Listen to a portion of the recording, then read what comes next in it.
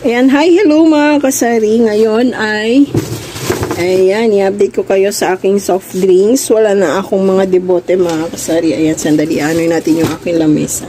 Nakaharang kasi yung aking lamesa. Eh. Ayan, nakarang yung aking lamesa.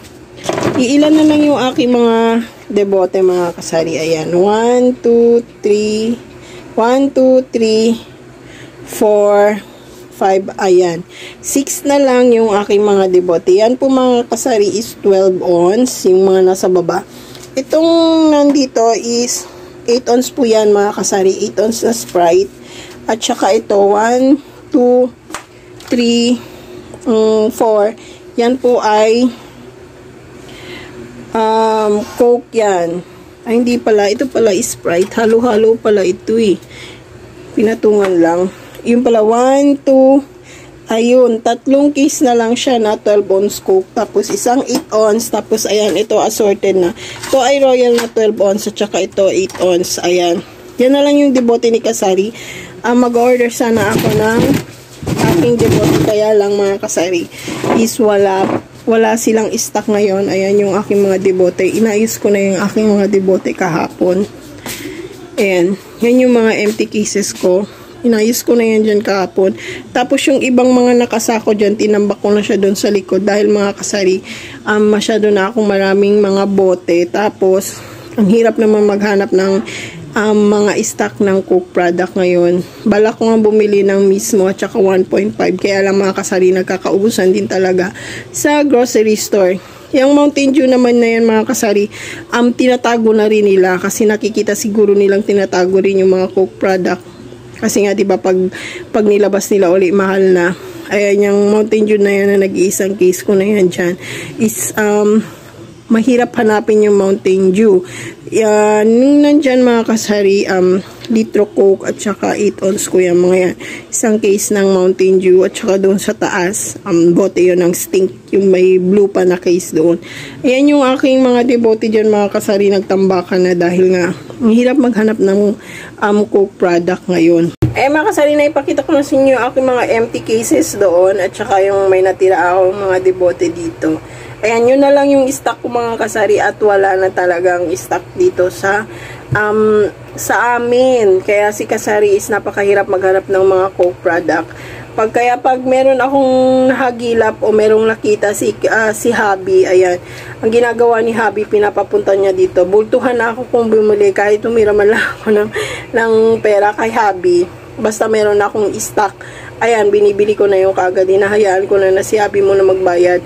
Pag um, may benta na si Kasari, saka ko na binabalik sa kanya. Basta lang, meron akong ang mga stock na mga soft drinks. Kasi mga kasari, ang hirap hanapin. Ngayon, ang hinahanap sa akin, litro coke. Ayan. Kaya lang, wala akong litro coke dyan. Mahirap maghanap ng litro coke dahil nga, ayan, doon pa lang sa labasan, nauubos na. Hindi na sila nakakapasok dito sa loob. Okay kasi sa labasan pa lang marami na silang order. Kawawa yung mga nandito sa loob. Kaya ang ginagawa namin ni Habi, um, kinukuha namin yung cellphone number nung mga reseller o kaya yung mga retailer ng mga cook. Uh, nang sa ganon, um, pag Monday, tinatawagan na yun ni Habi, chinecheck niya kung meron silang stock wala. Katulad kahapon Monday, ayan walang stock, mag-aantay na naman kami. Kaya si Abby, pinapabalik-balik ko siyang pinat, uh, pinapatawag ko sa kanya yung kinukuha na namin retailer na um, number para nang sa gano'n naman ma-update namin kung may stock ba sila o wala. Kasi mga kasari, ang hirap maghanap ngayon ng soft drinks. Kahit maghanap kami sa may grocery store, yung mga mismo, 1.5 ang hirap hanapin mga kasari. Kasi nga, nagkakaubusan. Ang bala ko nga sana Pepsi at Mountain Dew na lang. At Sting yung aking ibebenta kaya lang ganun din pinapa, uh, tinatago din yung mga Pepsi product. Katulad ng ang Mountain Dew ko ayan tinatago nila. Kaya ngayon um, si Kasari yan na lang yung stock. Uh, mag-aanap pa si Kasari kung saan bibili. At pinapa-update ko pa si Habi kung saan yung may mga maraming mga nakatambak na soft drinks. Alam nyo ba mga Kasari ang isang case ng 8 ounce, kung dati binibili ko siya ng 180, ngayon mga kasari is 200 na. Yung 12 ounce naman, dati binibili ko siya ng 2, uh, 250. ngayon is 300 na. Ang litro naman, kung dati binibili ko siya ng 360, ngayon mga kasari is 400 na. Napakamahal. At yung Mountain Dew naman mga kasari, binibili ko lang siya dati ng 250 din. Same lang din sa aking 12 ounce dati. Ngayon is 300 na. Ayan. Napakahirap maghanap mga kasari. Tapos kung tataasan mo naman yung um, binibenta mo na soft drinks is magre-reklamo na yung ating mga tumor, hindi alam ng ating mga tumor, mas nahihirapan tayong mag-adjust kasi syempre, bibili sila ng malamig, tapos isi-cellophane pa, tapos mag straw pa, ba? Kung tayo ba bibili tayo sa sa wholesaler or retailer ng mga soft drinks, may libre bang cellophane at saka ano? Straw, di ba? Lugi na tayo pag ganun. So, ang gina kahit, uh, kahit gawin mong 17 or 18 yung soft drinks mo na 12 on, luging-lugi ka na. Kasi nga, magse-cellophane ka pa, tapos mag straw ka pa. Sa 12 ounce naman, kung gawin mo naman yung 11 or 12, lugi ka rin naman. Kasi naman, hihingi pa sa'yo ng cellophane uli, at saka hihingi na naman sa'yo ng straw. Diba? Di naman libre yung straw at cellophane, mga kasari. Kaya lang, si Tomer talagang nagre-reklamo. Kung ipapaliwanag mo pa yun sa kanila, sasabihin nilang mahal na. Ayan. Hindi nila iniisip na nagbabayad ng kuryente binibili natin yung ating plastic at yung ating straw, di ba?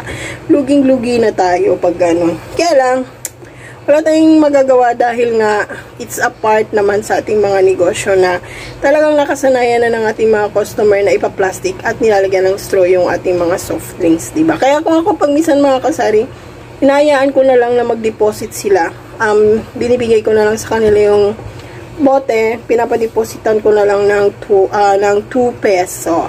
Ayan. Basta wag na lang silang mag-cellophane at mag i-straw kasi lugi naman eh. Kalahin nyo mga kasari yung isang isang straw is binibili ko yan ng 18 peso. Yung maliit lang, so yung mga 20 pieces lang, ayan, 18 peso. Tapos yung sa plastic pa, binibili ko yan siya ng 16. O, diba? Luging-lugi ka na. Hindi ko na alam ngayon kung magkano na yung plastic dahil nagtambakan yung mga plastic ko at istro nga dyan sa taas. Hindi ko pa alam kung tumaas na ba sila dahil di pa naman ako nakapagpamili uli. Ayan mga kasari, yung update ko sa araw na ito, yung aking mga soft drinks na nakastock at yung aking empty cases doon sa labas. Dahil napakahirap hanapin ng mga cook product ngayon mga kasari. Sa panahong ito, hindi ko na alam. Siguro, uh, bebenta ko na yung mga juice pag hindi pa ako makahanap ng mga soft drinks ngayon, um, siguro magta-try ako sa ibang grocery store bumili ng mga mismo at 1.5. Try ko naman kung malaki ba yung kita sa mga ganon. Kasi hindi ko pa nasubukan mga kasali. Susubukan ko pa lang pag wala na akong stock ng aking mga soft drinks. Ayan mga kasari, sa araw na ito, ang in-update ko sa inyo. Um, ingat po tayong lahat and God bless po.